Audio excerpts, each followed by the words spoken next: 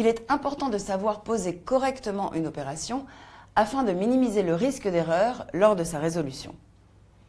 Il existe quatre opérations dont la multiplication que nous allons étudier ici.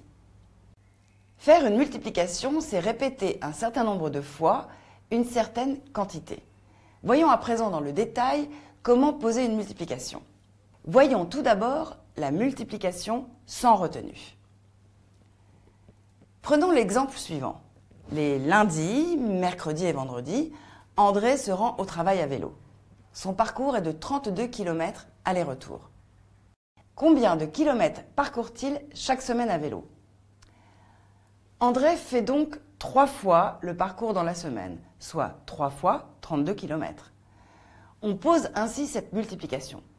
Pour effectuer cette opération, on dit 3 fois 2, 6, je pose 6.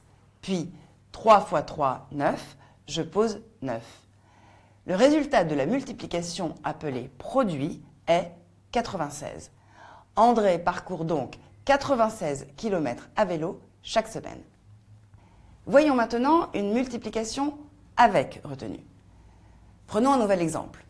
Un agriculteur récolte 876 kg de pommes. Il vend ses pommes 3 euros le kilo.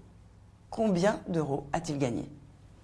Cet agriculteur va gagner 876 fois 3 euros. Pour effectuer cette opération, on dit 3 fois 6, 18. Je pose 8 et je retiens 1. 3 fois 7, 21. J'ajoute mon 1 de retenue, ce qui me donne 22 je pose 2 et je retiens 2. On dit donc 3 fois 7, 21 et 1 de retenue 22.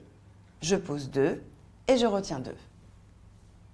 Pour terminer, on dit 3 fois 8, 24 et 2 de retenue 26. Je pose 26. Le produit est 2628. L'agriculteur aura donc gagné 2628 euros. Et voilà, vous connaissez maintenant la méthode efficace pour poser une multiplication, opération qui doit être maîtrisée en fin de primaire. Rappelez-vous, bien savoir poser ces opérations, c'est s'assurer ainsi que le calcul sera sans risque d'erreur.